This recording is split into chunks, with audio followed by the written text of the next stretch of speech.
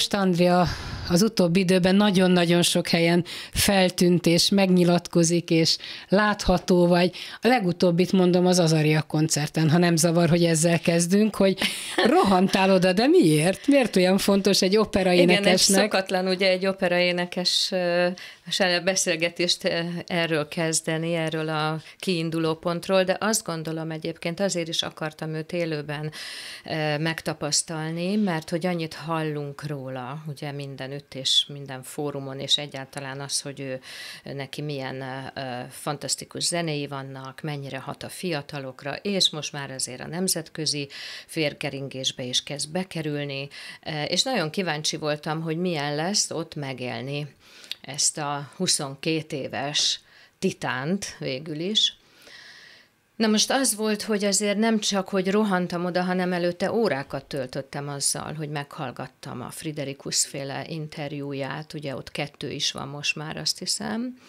Nagyon érdekes volt, és, és ott láttam, hogy ez egy gondolkodó ember.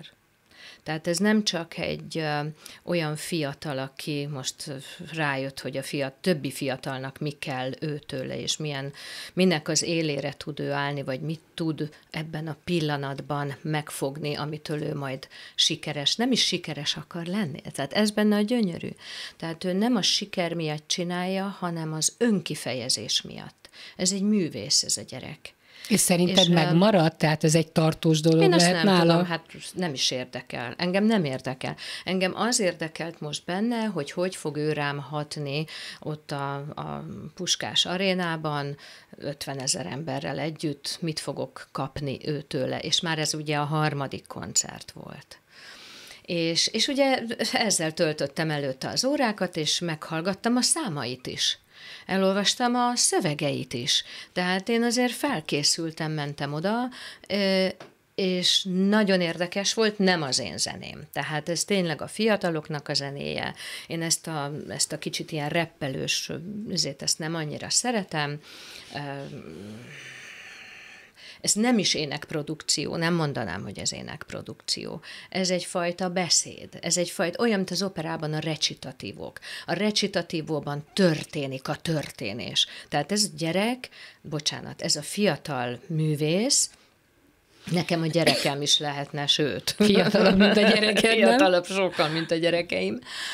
Ez egy olyan, olyan elképesztő literatúrát ad, ami, ami most ha fang, hangozhat furcsán, de tényleg ezzel fogja meg az embereket. Igen, igen. Ha mondjuk kapnál tőle egy felkérést, Ó, abszolút. Vállalnál abszolút. egy színpadi nekem, közös nekem, éneklést? Én azt gondolom, hogy egy olyat, mint annak idején a Freddie Mercury és a, a Montserrat Caballé csináltak, az a mi részünkről is lehetne valamiféle megoldás. Én nagyon szívesen, mert hogy, mert hogy akkor legalább egy kicsit az operára is rávetülne egy kis fény ebből, meg, meg érdekes volna őt megélni a színpadon. Egy nagyon introvertált embernek látom őt, ez az a bujkálás, ebben a szemüveg, ez a matula sapka behúzva, teljesen mélyre, feketében, ugye, ilyen laza, fekete, alig látszik belőle valami.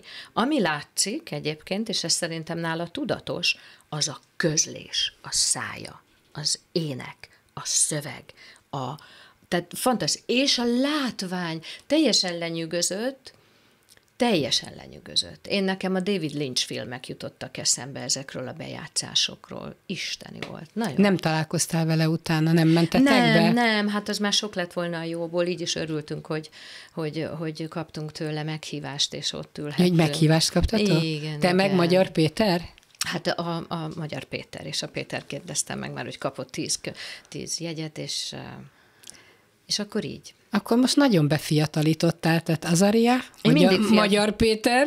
Nem, nem, nem. Én azt gondolom, hogy én az operával foglalkozom, én a zenémmel foglalkozok, azzal, ami, ami engem érint, és figyelek a környezetemre. Ja, hát ez a dolgod részben a gyerekeid abszolút. miatt is. Persze. Tudnod kell, hogy a jövő nemzedéke mit tartogat, meg hát egyáltalán, hogy milyen világba élsz és folytatod az életedet. Hogy mit tartogat ez a világ? Én nekem, mint énekesnek, mint zenésznek, és azt kell, hogy mondjam, mint gondolkodó nőnek, valóban nagyon fontos az, hogy milyen világban élünk, milyen környezetben élünk, ezért felelősek vagyunk mindannyian, és most nem is csak a politikáról beszélek, tehát azért, azért azt gondolom, hogy bennem nem csak ez a fontos. Most ez persze egy ilyen nagy történet, de, de én azt gondolom, hogy én bennem az alkotás a fontos, én bennem az a fontos, hogy, hogy én most egy operaakadémiát akarok csinálni, ami arról szól, hogy fiatalság, hogy a fiataloknak átadni azt a fajta attitűdöt is egyébként. Tehát nem csak a tudásomat akarom átadni, hanem azt a fajta attitűdöt, amivel hozzáállunk a hivatásunkhoz, a munkánkhoz, a környezetünkhoz, a fele barátainkhoz. Tehát ez egy ez sok mindenről szól, és a zene pedig erre egy egy fantasztikus excuse, tehát, hogy most akkor itt a zene, itt vannak a zeneszerzők, itt vannak, itt van egy Azaria, aki a most, ebben a pillanatban, és itt van Mozart, aki meg már 200, több mint 200 éve itt van velünk. Tehát a, a komoly zenében ö, olyat alkotott, és nem csak ő, hanem most sorolhatnám az összes nagy zeneszerzőt a komoly zenében, akik megsegítik a hét, hétköznapjainkat, és erre szeretnék ablakot nyitni.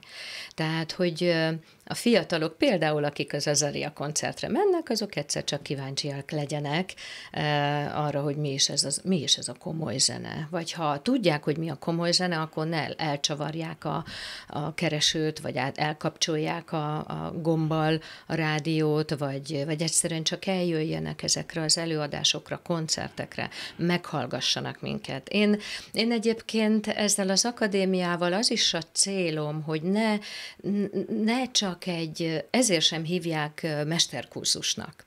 Mert nekem egy mesterkurzus az arról szól, hogy jönnek énekesek, akiknek van valamiféle egyéb céljuk azzal, hogy azokat az áriákat velem újból megtanulják, vagy én elmondjak nekik valamit, vagy hozzászóljak, rendbe rakjam az áriákat hogy elmennek egy meghallgatásra, tehát egy előéneklésre, vagy, vagy versenyre készülnek, de hogy ez engem annyira nem tüzel fel, persze nagyon klassz így is segíteni a fiataloknak, de az, hogyha egy ilyen hosszú hetek munkájának az az eredménye, hogy a végén egy, egy zseniális darabot előadunk, az már valami.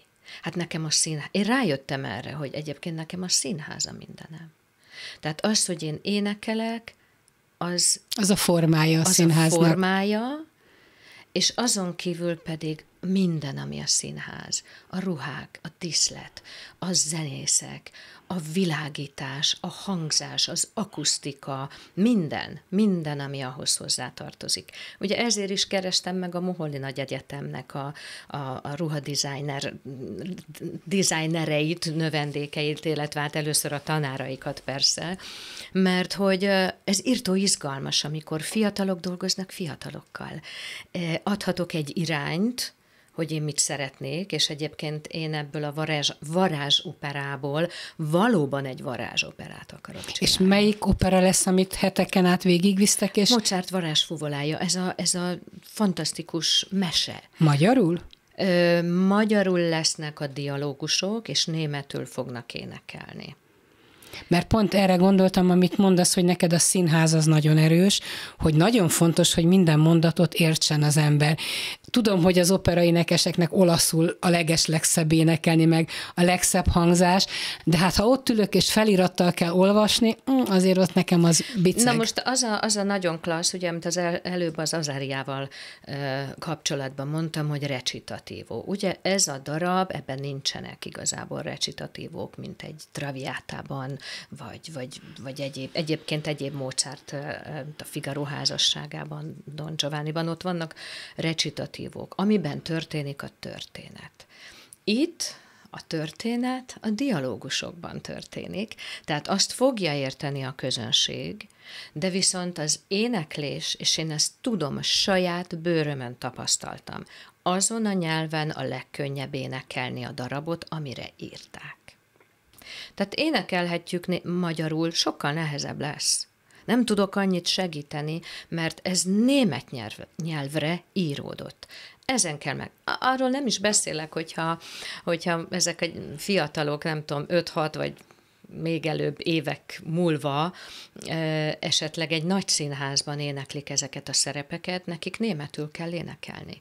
Az, hogy milyen dialógust kell majd németül esetleg mondani, hát azt majd megmondja a rendező. Ugye az a rendező, aki majd, akinek a darabjában majd akkor föllépnek. Most, az, most én vagyok a rendező, ugye az is, úgyhogy Azért most ez egy ér- érdekes kihívás, amibe belevágtál. Hú, nagyon. Csak ez egy mit jelent, hogy hány diákod lesz, vagy nem diák, Ugye tíz hanem... szerep van tíz szerep, illetve van a három knábe, a gyerekek, akik nálam ilyen kis puttok lesznek, ilyen kis angyalkák, tehát ők nem, nem is lesznek a színpadon, hanem ugye az ötvös tízben le, leszünk, ahol van egy ilyen karzat, és ők onnan fognak énekelni, kvázi ez a Deus ex machina, tehát ők, ők, ők az égből közvetítik a, az üzeneteket. És hány hét alatt lesz kész?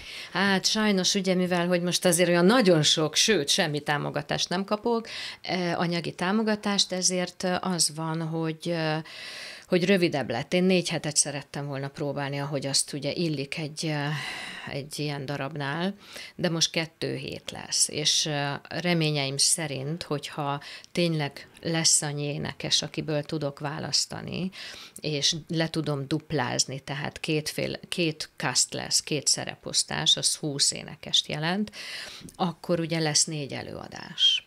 Úgy, és ez hogy, egyszeri alkalom, vagy hogyha ez sikerül, és jól a sikerül? őket.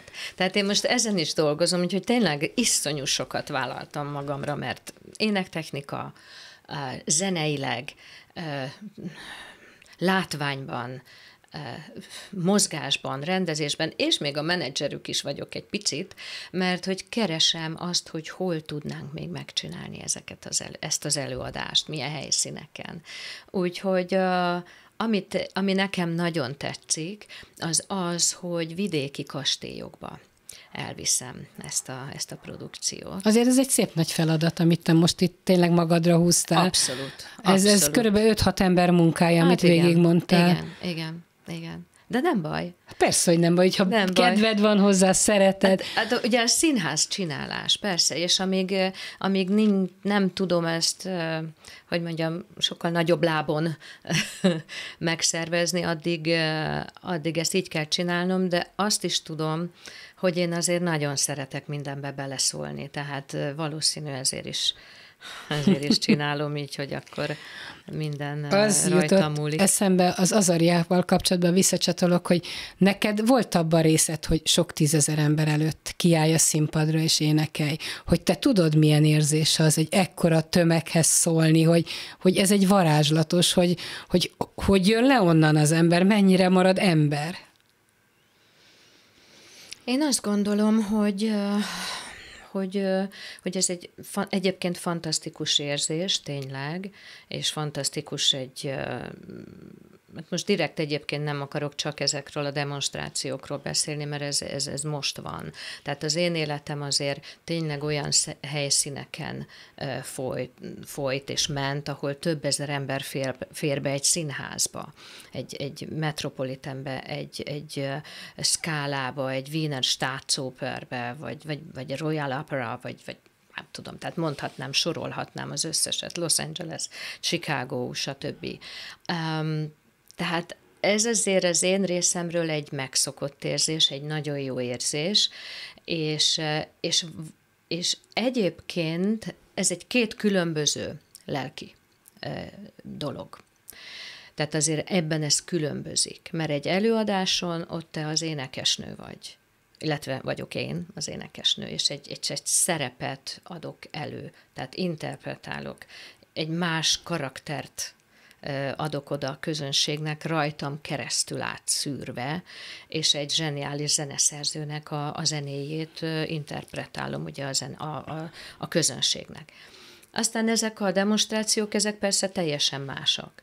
Itt, itt inkább azt érzem egyébként, hogy, hogy lelkileg tartozunk össze. Tehát ez egy nagyon...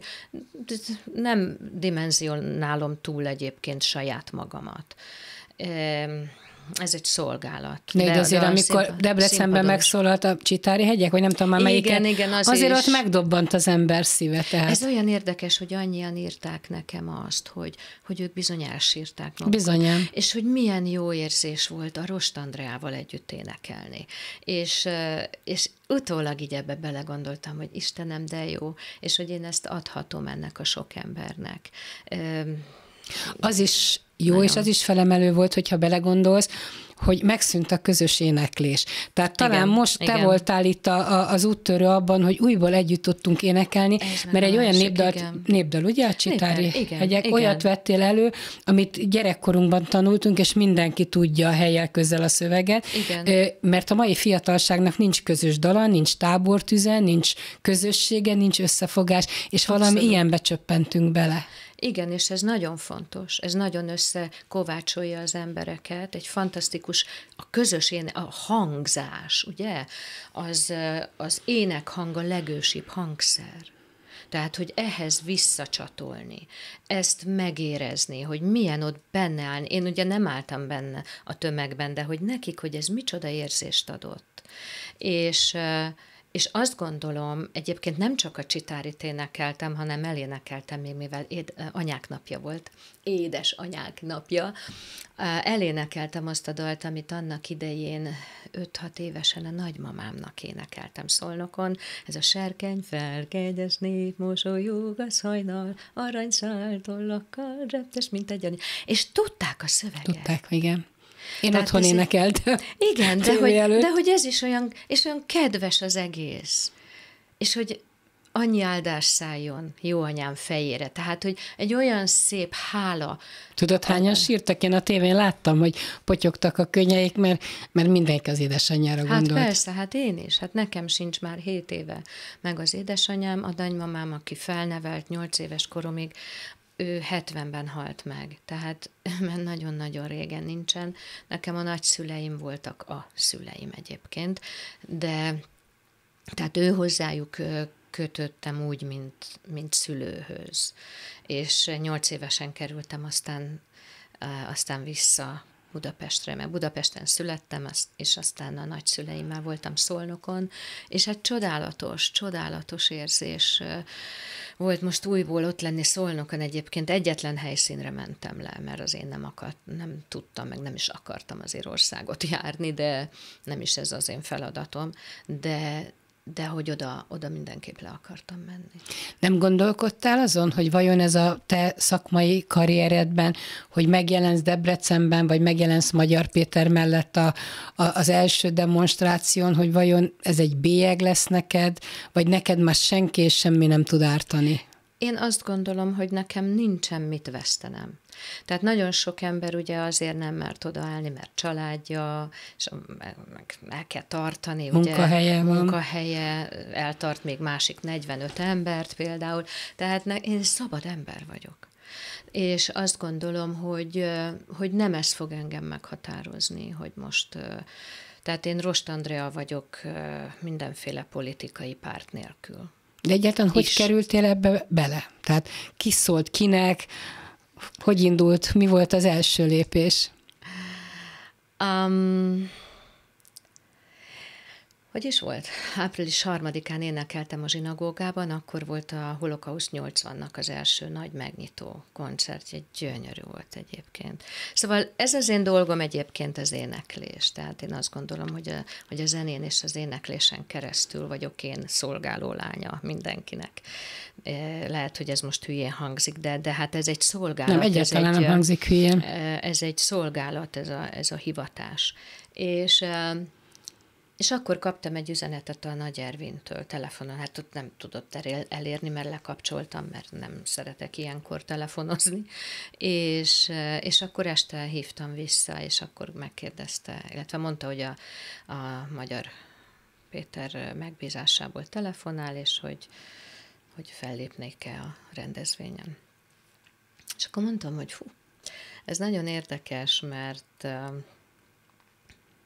március 15-én, amikor meghallottam az ő megjelenését és beszédét, ment a Péternek, akkor én olyan, tehát rajtam egy olyan lelkesedés futott át, A, és azt mondtam magamnak ott a fürdőszobába, hogy hú, én egyszer ennek az embernek fogok énekelni valamilyen rendezvényen, vagy valahol, nem tudom, nem tudom, de, de amit én ehhez hozzá tudok tenni, az a művészet, az énekhang, a nőiesség, a határozott bátor nő, ugye, az, a, az, amit én ehhez hozzá tudok tenni, és, és akkor mondtam a, az Ervinnek, hogy hú, hát azért ezen hadd gondolkozzak egy 24 órát. Mert persze tudtam, hogy, hogy támadások keresztüzébe fogok kerülni, már csak azért is, mert én soha, de soha nem álltam semmiféle párt mellé. Itt azért hadd tegyek egy meget, vagy egy kitérőt, hogy amikor pár évvel ezelőtt beszélgettünk, akkor itt rögtön mondta nekem sokan, hogy de tudod, hogy az Orbán Viktorral van egy közös fotója, mert ez bejárta az országot. És én nem tudtam, hogy hogy készült ez a fotó, de én annyit mondtam, hogy ne adj Isten, elmegy Orbán Viktor egy koncertre, nem feltételezem, hogy elmegy, de mondjuk elmegy, és oda megy Rost Andrához, nem ugorhat el előle, tehát az egy nagyon, nagyon durva megjelenés lenne, és én csak annyit tudtam mondani, hogy nem gondolom, hogy az Orbán Viktor mellett politizálna. Vagy én, akkor én, még én, hittél benne? Én művész vagyok, én csinálom a dolgomat. Az egy olyan, egyébként pont valamiféle választások előtt volt az két nappal az a koncert, tehát... De nem politikai volt. rendezvényen volt? Nem, ez az én, ez az én 35 éves, 30 éves évfordulom, 30 éve énekeltem. Ez 5 évvel ezelőtt volt.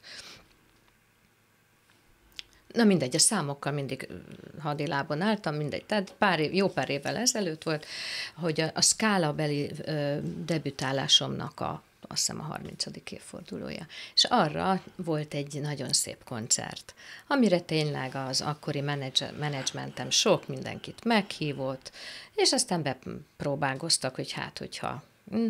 És, és akkor tényleg mindenki is eljött, aztán sokan azért is jöttek el, mert hogy eljött az Orbán Viktor is, de, de ez engem, tehát hogy mondjam, ez, ez nagyon megtisztelő, hogy ilyen figyelmet kap az ember természetesen, de, de én nem, tehát én énekes vagyok, én énekelek, én nekem a művészet, a, a, a színterem, és, és egyetlen egy, hát én nem, nem láttam őt máskor, nem is, nem is készült több kép.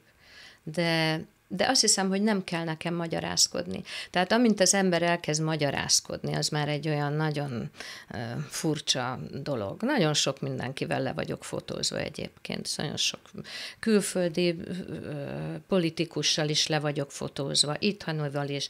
Tehát én azt gondolom, hogy inkább az volt, hogy ez nekik volt most fontos, hogy Minden ezt ássák ezt az egy fotót, Úgyhogy, de hát én nem így állok ott. Tehát, Egyébként én azt gondolnám, hogy az lenne a szerencsés, hogyha minél több politikus, miniszterelnök, szóval miniszterig minden ilyen minden. helyzetben Abszolút. ott legyen, és menjen oda a művészhez, és gratuláljon pártállástól függetlenül. Igen. Tehát ez lenne a normális. Így van, így van, így van. Mert hát kultúrált emberek eljönnek, meghallgatják, kifejezik a tetszésüket, vagy a nem tetszésüket, hát bármit lehet, ugye?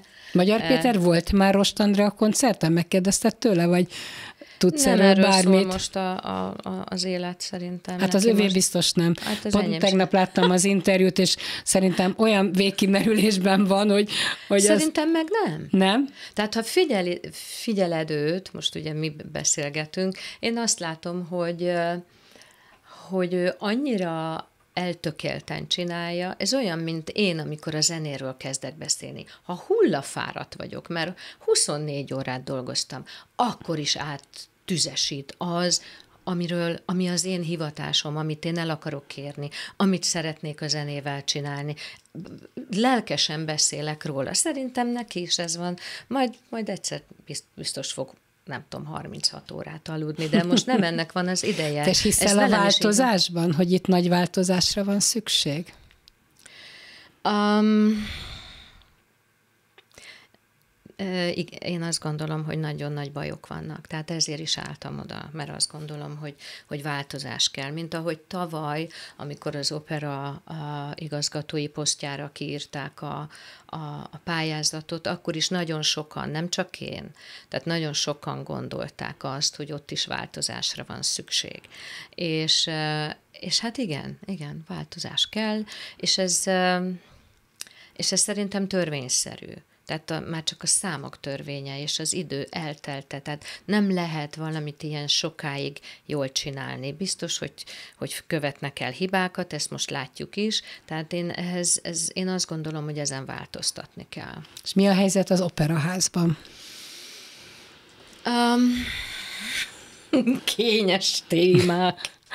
Hát ezért, Ez csinálom, az életed. ezért csinálom most ezt az opera akadémiát, ugye, mert hogy nem vagyok az operában. De és vállalnál, ha felkérnének? De nem is kérnek föl, tehát fölkérnek olyan, olyan hogy is mondjam, a, a, tehát olyan felkérőt kaptam, ami, egy, ami megszégyenítő.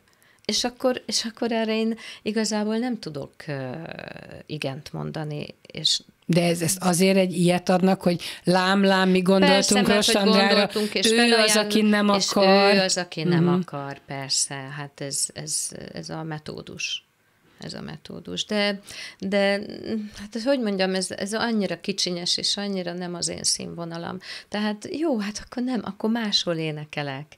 Tehát sajnálom a közönséget, akik már nem is vesznek jegyet egyébként az opera előadásokra. Most is elmarad a háború és Igen, béke. azt láttam. Ez azért van, mert hogy nem hát vesznek. nem vesznek jegyet. Azért nem vesznek, mert olyan horrorisztikus tudom, ára lehet, van, tévele, vagy tévele. belső zűrő. hát szerintem nem, tehát ezek az előadások nem érdeklik az embereket.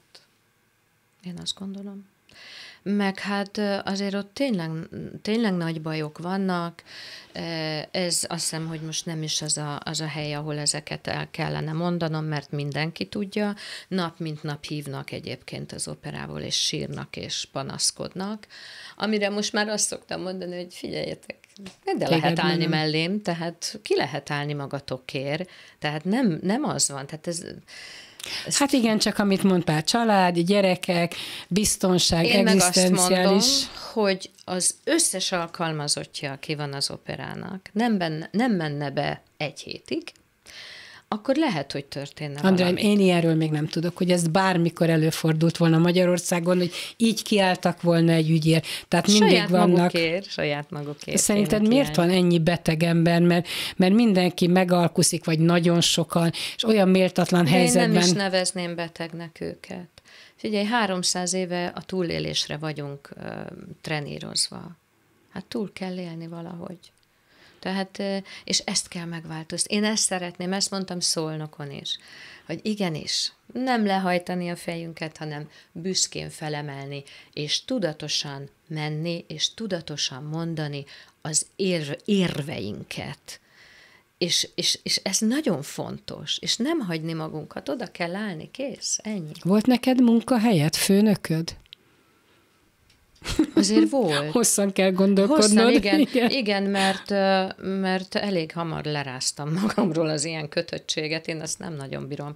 Úgyhogy hát amit mondtam ugye az Opera Akadémiával kapcsolatban is, hogy én szeretem meghatározni a dolgokat, és nem szeretem, hogyha bekényszerítenek valamibe, de teljes lényemmel tudom szolgálni az előadást és a zenét. Tehát azt ott viszont teljesen megadom magam, és azt szolgálom. De, de amikor valami olyat látok, ami nem, nem, a, nem, nem hasznos, és nem jó, és, és hátráltat, nem csak engem egyébként, hanem eszetlen, és lefárasztja az énekeseket.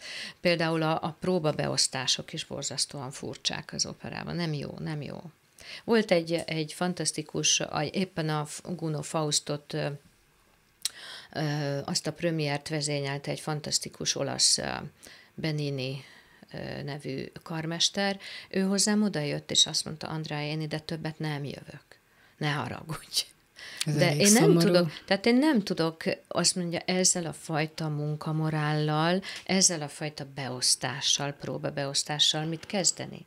Tehát és ő vezényelt tényleg a világ legnagyobb színpadain, és ezt bírta mondani, hogy ő ezt ő nem tudja akceptálni. Egyébként nem. ez fantasztikusan ö, méltányolom benned, hogy évtizedeken át jártad a világot, a világ legnagyobb operaházaiban helyein léptél föl, és most itt vagy, sokat vagy Magyarországon, és most csak itt van. Csak itt, itt hogy, van, itt és van. mindent visszadsz, amit te begyűjtöttél, Én tapasztalatot. Jöttem, ezt olyan jó, hogy most kimondtad, mert én 2010-ben ezért jöttem haza Berlinből. Igaz, tehát a férjemtől elváltam, és hazajöttem, mert azt mondtam, hogy na, akkor most viszont a magyar közönség meg fog engem kapni teljesen.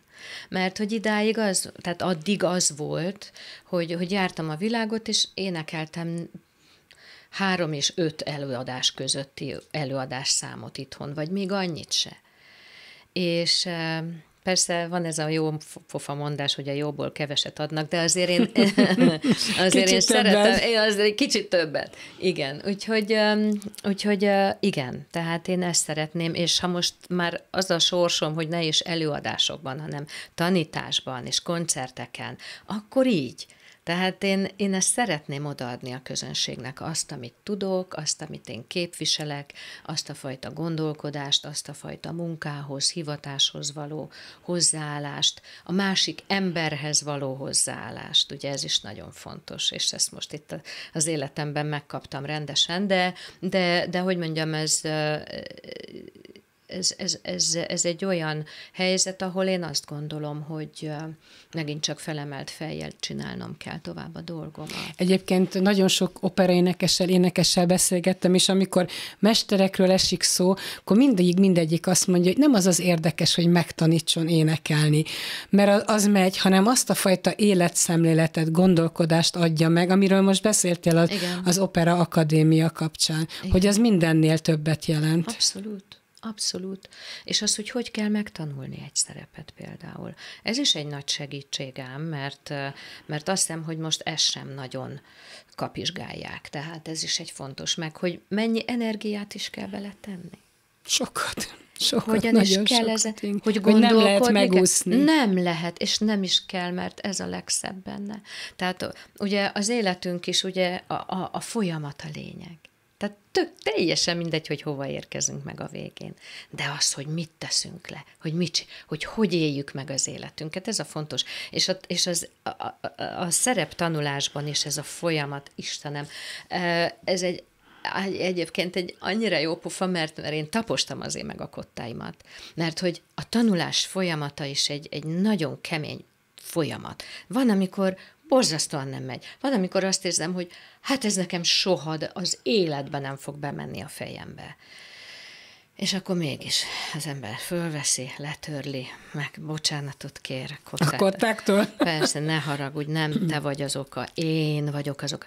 És akkor megint szépen, lassan, szisztematikusan, odafigyelve, alázattal. És akkor egyszer csak elteszi az ember, és előveszi, és hoppá, ott van a fejemben. Ez függhet attól, hogy éppen magánéletileg, érzelmileg milyen állapotban vagy? Nem, ez egy folyamat. Nem, nem, nem. Szerintem nem. Szerintem nem. Sőt, a zene mindig, mindig, engem legalábbis mindig kivett a legnehezebb pillanatokból is. Akkor be, becsuktam fülemet, mindent, és odaültem az zongorához, és akkor csak azon gondolkoztam, hogy mi is ez, meg mit akart a zeneszerző. Ja, ja, hát ezt például a multitól tanultam meg, hogy nagyon megnézni a kottát. Néha csak ezt kell megmondanom a fiataloknak, hogy te figyelj, te most itt egy nagy fortét énekelsz, és pianissimo van beírva. Ezen gondolkozz el, hogy miért. Miért írt oda a zeneszerző egy pianissimót. Hogy is kell megcsinálni azt a crescendót, vagy a decrescendót? Mikor kezdődik az a crescendo? Nem rögtön, ugye? Mert, mert ilyen, í, ugye így van a tehát, hogy itt még semmi, és ez növekszik. Tehát van benne egy növekedés, aztán van egy elhalás. Tehát, hogy ez olyan a zene, mint ilyen, mint az életünk. Azért én mindig irigyelve figyeltem az életedet, nem magamra nézve, hanem a szakmádra, hogy, hogy mindent elértél, amit lehetett, de hogy ez hány könny és vér, és mi minden van mögötte. Ha csak azt hiszem, hogy évtizedeken át szinte nem voltál itthon, hogy egyik szállodából a másikba, ez, ez gyönyörű lehet, de az ember azt se tudja, hol ébred, melyik országban van. Aztán a színpad mindenért kárpótol, persze. Igen, ez így van, így van. És azok, azok csak a körülmények. Bende Zsolt tanárom mondta nekem ezt egy csodálatos mondatot, hogy Andikám, körülmények mindig vannak. Hát ahhoz alkalmazkodni kell.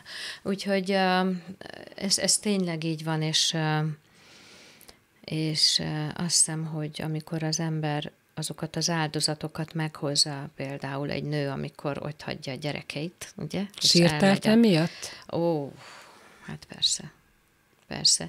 És aztán később meg a gyerekektől ugye megkapom a, a dacot, hogy bár szemer ott hagytál minket, azért, azért mert énekelni mentél. Aztán meg megkapom azt is, hogy de anya, mi így szeretünk téged, és ezért is nagyon szeretünk téged.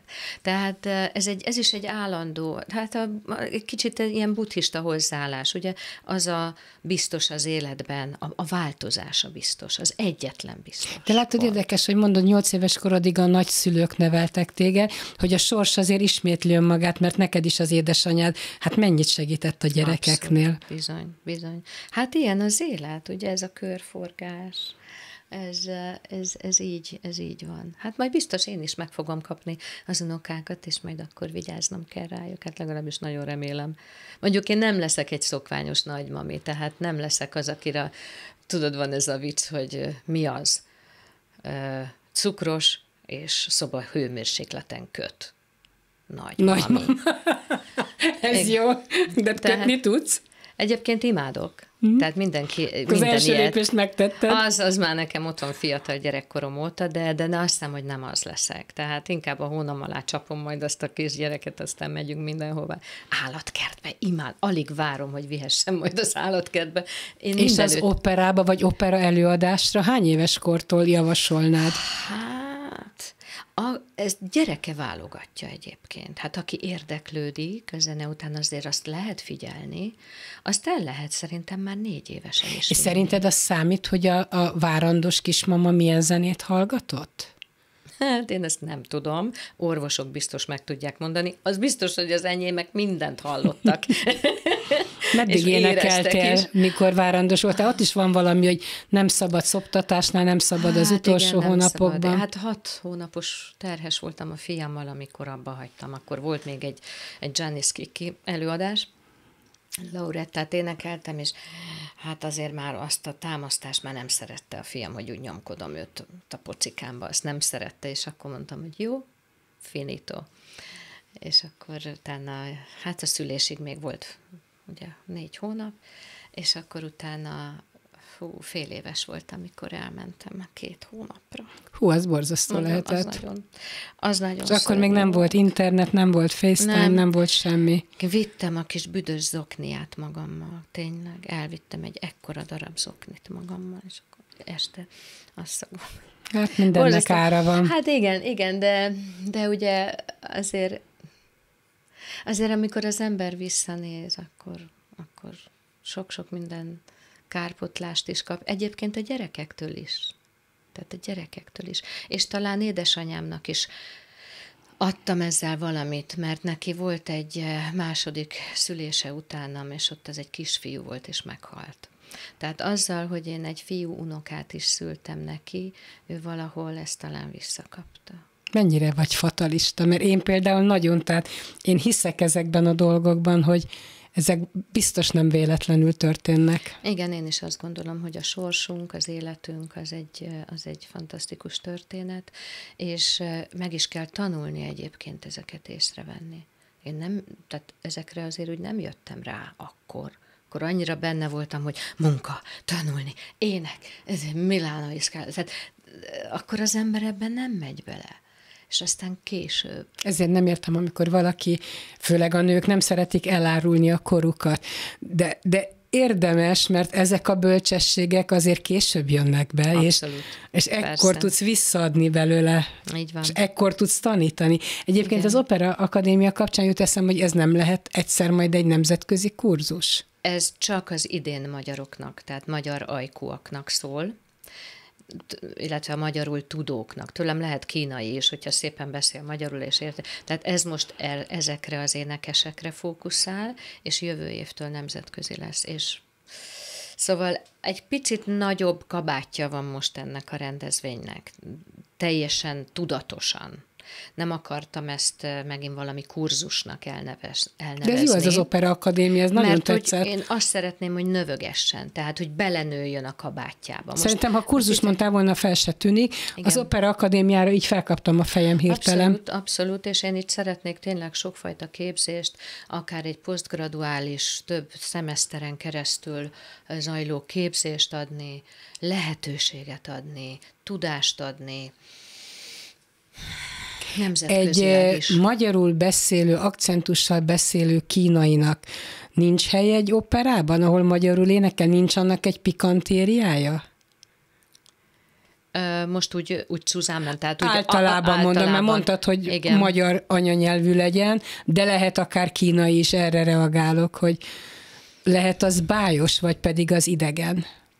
Hát nézd, ebben a specifikus darabban, ebben azért több, hát szóval ez azért, az, hogy bájos, az egy nagyon kedves kifejezés szerintem. Tehát e, talán a dialógusokban lehet bájos, hogyha ott van valami akcentus, de, de a németben nem lehet, nem lehet. Kész, finito. Ebben nem ismerek pardont. Lesz is egyébként egy coachunk, egy német nyelvű, nagyon komoly. Tehát aki a kiejtésben kell, hogy segítsen. Én emlékszem, mennyit tanultam. Legelőször Kölnben egy olasz coachtól. Fú, a, bocsánat, egy csú, csúnya szót mondok, a belemet taposta ki. Tényleg. Már végén úgy utáltam, mondom, Marina, hagyjál békén a cetlieiddel. Hmm. Mert mindig, mindig, még az előadások, tehát meg volt a premier, el, mindig oda jött és odaadta, hogy mi nem volt jó. De olyan hálás vagyok neki, mert az olasz kiejtésem azért is lett olyan, mert ő nem hagyott benne soha semmit. Ez azt jelenti, hogy olaszul hibátlanul énekelsz, Én azt hogy gondolom, igen. olaszul hibátlanul beszélsz is? Ah, hát ez két külön dolog. Külön dolog, igen? Én És akkor mondhatom angolul, a németül. kiejtésem jó, mert ugye jó a fülem, tehát jó, tehát jó a kiejtés, így jól mondom a szavakat, akkor mindig azt mondják, hogy hú, melyik városból jöttél? Hát Olaszországban melyik városból jöttél? Hát mondom, én Budapestről. Te nem olasz vagy. Szóval, um, de, de, nem is, de nem is ez a lényeg egyébként, hanem az a lényeg, hogy amikor az ember a színpadon áll, és azokon a nyelveken énekel, akkor a lehető legjobb tudása szerint a lehető legközelebb kerüljön a jó kie- kiejtéshez. A végére hagytam a legkínosabb kér- kérdést, mert mondtad, hogy kínos kérdéseket is tettem föl. Miklós Erikát, azt mondasz rá, amit akarsz, nekem, mint műsorvezetőnek, ezt muszáj megkérdeznem, mert tele volt az újság vele. Ez, ez érdekes, mert ő is így, így reagált, amikor így megkérdezték, hogy ilyen.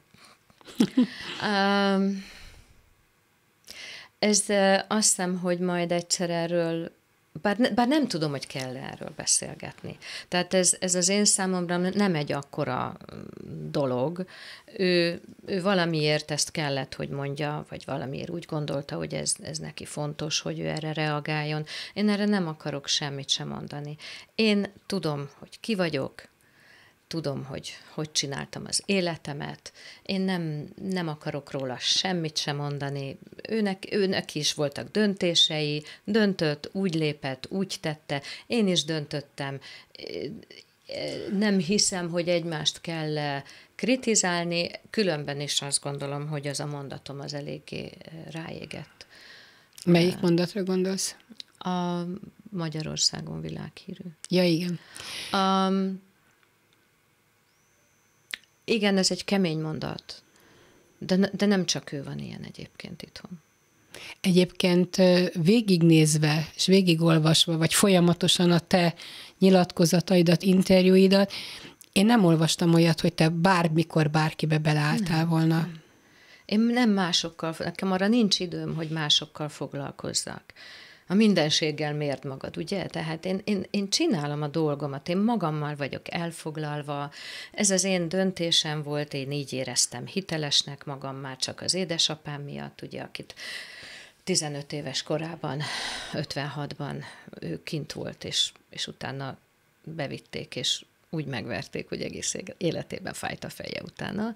Tehát én nem, nem gondolom, hogy... Tehát az én lelkületem egy másfajta lelkület. Ha már mondtad az édesapádat, ez bármikor otthon egy ilyen történet volt, hogy az édesapádat megverték, és hogy mi volt, lett? Volt, hogy előjött, igen. Igen, igen, persze. De ő fájdalommal élte az életét, vagy félelemben, vagy benne volt ennek nyoma? Ő, neki ez egy szomorúság volt tulajdonképpen, hogy akkor nem történt változás, és hogy be, visszahívták, vagy ide hívták az, a ruszkikat, ugye? És, és azoktól, és hogy a nyugat sem sietett a segítségünkre, és hogy és én, ő, ő ezt úgy élte meg, hogy itt hagytak minket. Nem voltunk fontosak annyira. Hát és ebben nagyon igaza van, igen. igen Tere igen. mondják, ha nincs szó ez, akkor talán Magyarország nagyobb, nagyobb reflektorfényt kap, bár ebben sem hiszek. Hát nem tudom. Igazából, igazából ő aztán nagyon, nagyon ellenzékbe élte az életét, és, és nagyon fájtak neki ezek a dolgok. Ezt tudom, tudom. Otthon hőzöngött. Uh-huh. Igen. Még egy búcsú kérdés, ez most már kellemesebb lesz, hogy mikor szokták kelni, én nézem az oldaladat, hajnali fényeket látok, és mondom, uramisten, Igen. Rostandra ma sem tudott aludni? Utána visszafekszem, tehát ez benne a jó, hogy van egy pár macskám, és azok fölébresztenek, és hát tényleg ezek a hajnali napfelkelték, pont úgy van a teraszom, hogy szembe van két gyönyörű szép kis, hát nem hegy, inkább domb, domb, ugye hát nálunk azért a nagy hegyek nincsenek, ott a Pilisben, de hogy olyan gyönyörű, mert pont ott jön föl a nap ilyenkor, és az egész házamat így, így át mossa ez a reggeli aranyfény. Hát ez valami olyan gyönyörű, Gyönyörű képeket is csinálsz. Gyönyörű. Gyönyörű. Én van, hogy kiállok, és ott a fényben imádkozom egy rövidet, mert hogy mert hogy annyira gyönyörű, és hogy olyan hálás vagyok, hogy én ezt megélhetem. Hát meg, hogy, hogy észreveszed. Hányan élhetnék ezt meg, ha egy másodpercben megállnának, és Igen, észrevennék. ez fontos lenne egyébként, mert, mert olyan szép pillanatokat kapunk csak úgy.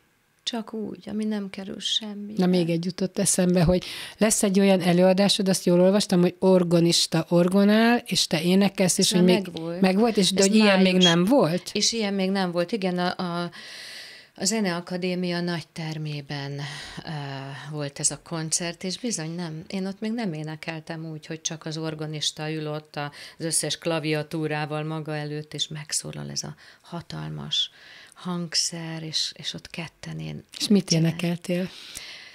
Nagyon érdekes volt, mert Verdi Otellójából az Ave Mariát elénekelte. Mert az, én mindig vágytam arra, hogy egyszer azt orgona kísérettel, mert az egy olyan gyönyörű ima, és, és most megadta ezt is a Jóisten, ráadásul a Zeneakadémián énekelhettem el. Nagyon-nagyon-nagyon jól esett ezt elénekelni. És utána énekeltem egy Purcell uh, The Fairy Queen című darabjából egy olyan áriát, amit én nem ismertem, de olyan gyönyörű angol szöveggel, hogy egyszerűen, amikor az angol tanárom, ma most angolul is tanulok megint, egy kicsit felfrissíteni, és lefordítottuk, és ő is elájult a gyönyörűségtől, hogy úristen, ez ilyen Shakespeare-i szöveg, hát gondolom valami olyasmi. És um, gyönyörű volt a szerelemről, hogy, hogyha élvezzük, és, és, és ennyire csodálatos ez a szerelem, akkor miért fáj? hogy miért tud ez fájni is. Szóval csodálatos, és ezt több verszakon keresztül. Gyönyörű, gyönyörű Nem csak énekelni tudsz gyönyörűen, hanem mesélni is, tehát nagy mesemondó vagy, te, tehát dallamosan jönnek a történetek. Hát, hát, és aztán volt még egy Haydn teremtés oratóriumból egy ária, és azt is annyira szeretem. Tehát, hogy ez is egy olyan, olyan gyönyörű ária. Ezt a hármat énekeltem csak egyébként. Hát elég. De, de elég nagyon, nagyon élveztem, nagyon-nagyon, és nagyon fantasztikus volt ez a német születésű Salzburg, Salzburgi Mozarteumban professzor, de Liechtensteinben élő organista. Fantasztikus, egy ilyen teljes művész, tehát ez a, az, ahogy úgy megszoktuk a, a, illetve az a kép él bennünk, hogy a, hogy a kicsit olyan, olyan szórakozott művész. Na, ő az volt. De amikor ott ült a hangszerénél, akkor egy csodálatos, összeszedett, alkalmazkodó, fantasztikus művész. Igen, nagyon-nagyon jó volt. Köszönöm szépen Rost Andrának. Én is nagyon köszönöm.